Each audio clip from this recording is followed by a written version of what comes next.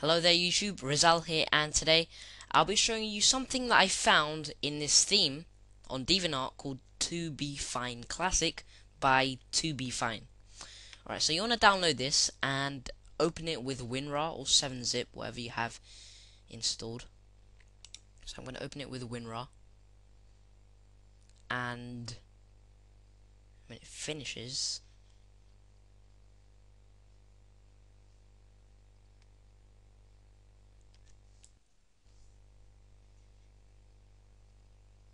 Alright, so here I have it. And this is what you shall find.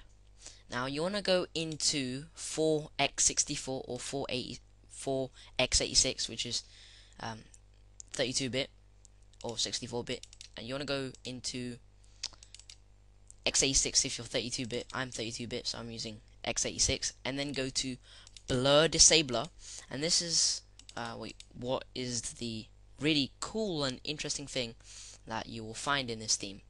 Now, I already have it extracted because I can't be bothered to extract it again, but here it is. That is pretty much what it is. So I just open it up, and you'll find a folder called files. Now, you don't want to touch that, but you'll find off.bat and patch.bat, which are two batch files. Now, I already have this enabled, but basically what it does is disable any blur on Windows. So as you can see, I have my Firefox window on top of my Windows Explorer window and you can see that it totally disables the blur which is quite cool. Now this blur disabler is actually only meant for 2Be Fine Classic, that theme that the guy made. But the blur disabler does work for any theme and I have it working with my Windows 7 Shine theme that I'm using at the moment which I downloaded from DeviantArt as well.